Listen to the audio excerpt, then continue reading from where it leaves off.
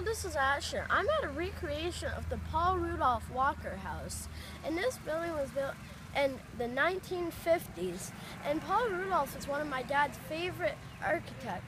And what's cool about this building is that the sunshades, how they work. And we can take a quick tour and I'll show you how the sunshades work inside.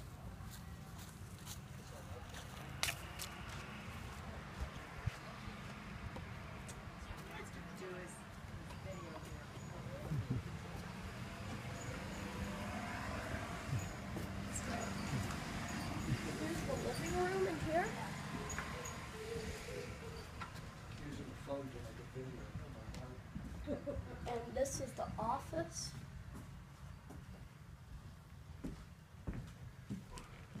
And then finally, this is the.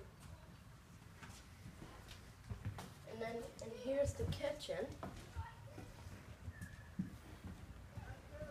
I like And let me show you the sunshades. So you pull this rope and there's a red weight over there.